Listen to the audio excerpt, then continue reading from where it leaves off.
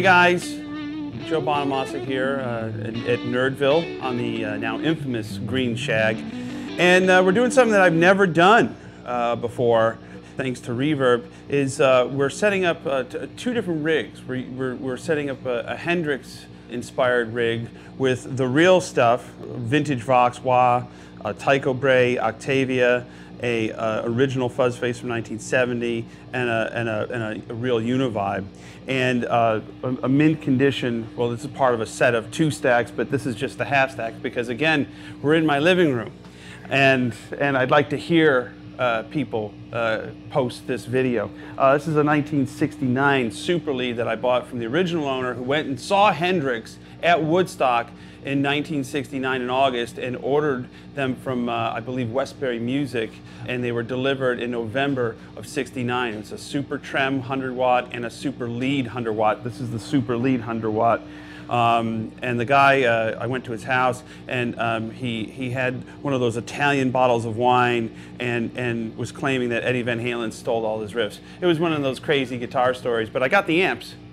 Anyway, so here we go. And this guitar is a 1969 maple cap in blonde, Hendrix's Olympic white, same damn thing. So like this this is a 35 to 45 thousand dollar guitar univibes i was buying them as a kid for 400 bucks. Now they're probably at a zero. Fuzz faces i think they're about $2000 and if uh, you know if you're trying one in the store just say there's something wrong with it all you got to do is just press it on.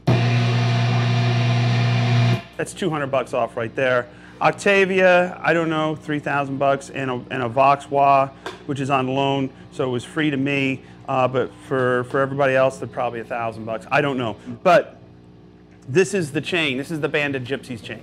And thank you, Jeorge Tripps, for your expertise in putting this all together in, in, the, in the right order. So it's noisy, it's wild, and I'm by no means Jimi Hendrix, but we'll get, we'll, we'll get to the, we'll get the gist of it. So check it out. And it's gonna be loud as fuck.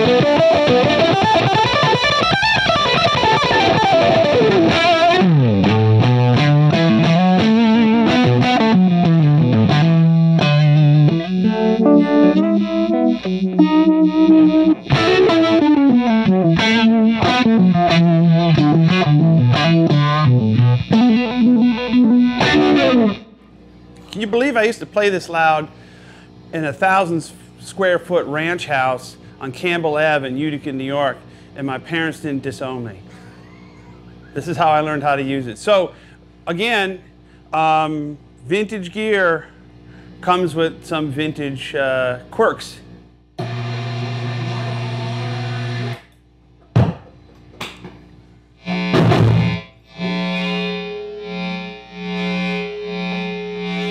And you know, no fuzz faces are created equal. So you have a silver one, you got the blue ones, you got the red ones. They're all different, and it depends on the temperature in the room uh, too, because it's like a hot day, they'll sound differently. But we we messed with this and we got it pretty close. And also remember the trick to Hendrix's tone is like he was never on 10 all the time. You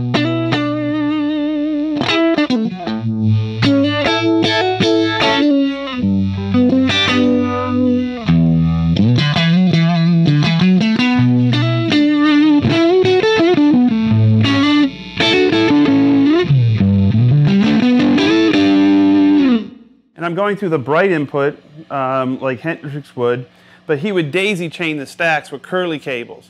And we can go down that rabbit hole too, but I don't want to be electrocuted. So we're using modern cables and modern electrics so I can survive the day.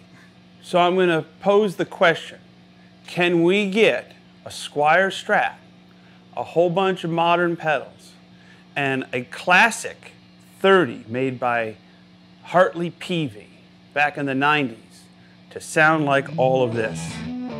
Stay tuned, ladies and gentlemen.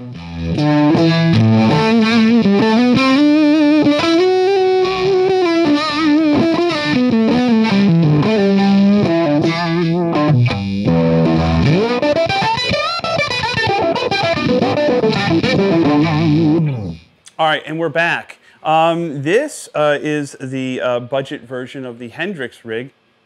All, all uh, Dunlop pedals. We have a Jimi Hendrix uh, Crybaby. Uh, we have an Octavia, which is a, a, copy of the, the Roger Mayer original Octavia. We use the Tycobrahe, which was a copy of the, the Roger Mayer, but they made those in the 70s, and it's old and expensive.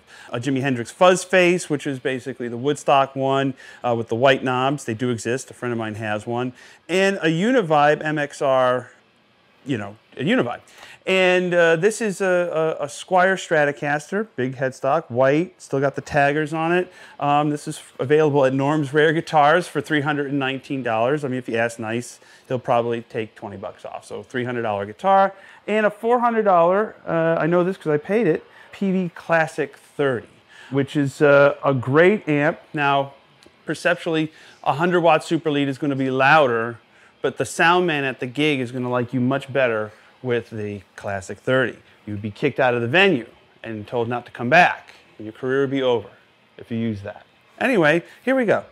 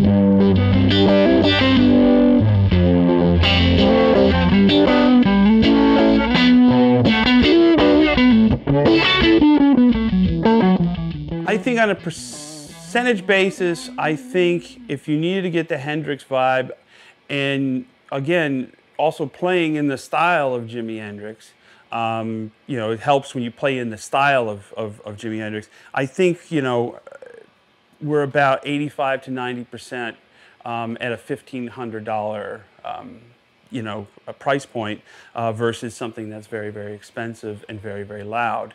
You take this rig into the studio, you take this into any club or any any any venue, put a mic in front of it, and and you know, you're you're you know, Band of Gypsys.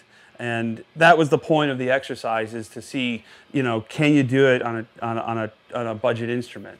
And there's no such thing as a, a, bad guitar or a bad amp or a bad pedal or a bad cable. Maybe the cable's bad, but it doesn't matter. It's just, it's how you drive it. And, um, you know, if you just kind of learn the techniques and how he and how he did it, and you know.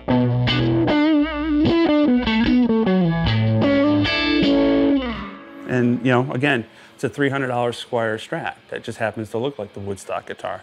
I'll flip it over, you know, buy a left-handed one, and it's still got the tagger on it. Look at that. Yeah.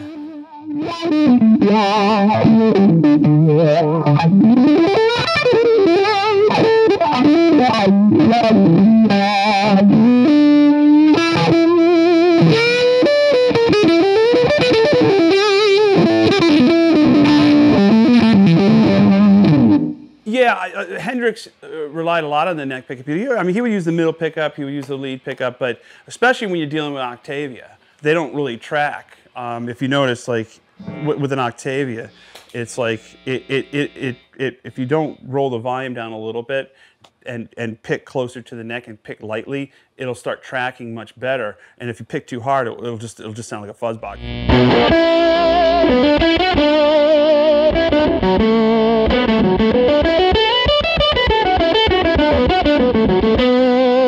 conversely with the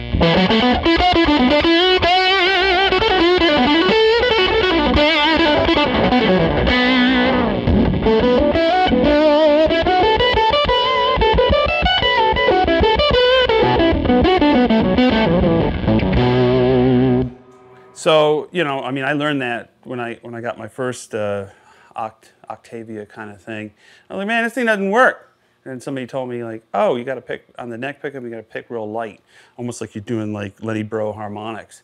And I'm like, oh, it tracks instantly. So it's uh, it's a quirk with the pedal, but it's a cool sounding pedal. And you know, fuzz faces again. You know, like I, I like them. Like you can use them as a weapon if you hit hit the treble.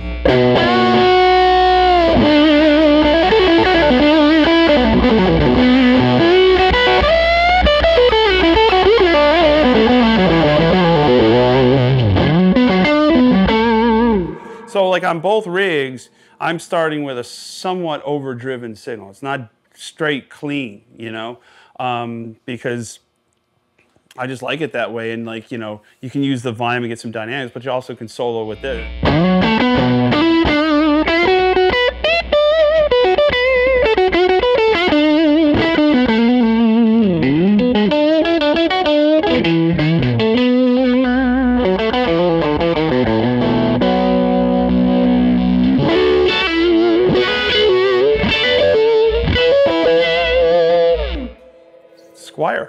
And it's fifteen hundred bucks or less. That's the that was the point of the exercise today. And I've always wanted to do this, by the way, um, because it, it, it is proof that it doesn't take a million dollars, and uh, this is coming from the king cork sniffer himself.